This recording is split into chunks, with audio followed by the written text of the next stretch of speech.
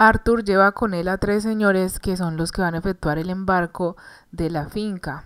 Estos señores son los que representan a los acreedores del papá de Lucía.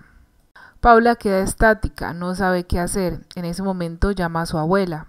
La llama para preguntar por el abogado Jorge Latorre. En ese momento su abuela le dice que no está y que está visitando a Sebastián con Marcela.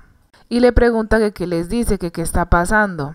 Paula le dice que no le diga nada, que solamente le diga que lo están necesitando. Doña Cecilia no le cree nada y le dice que ya está cansada de que le estén ocultando cosas, que si no le dice qué está pasando, ya mismo agarra un vuelo y se va para la finca.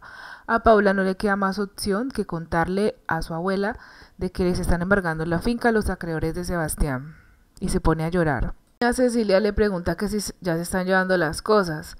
Paula le dice que no, que solamente se están llevando un embargo de producción, que Arthur les está mostrando cuál es la producción que han tenido este tiempo. Y que como no hay café, van a revisar los frutales, el beneficiadero y el ganado.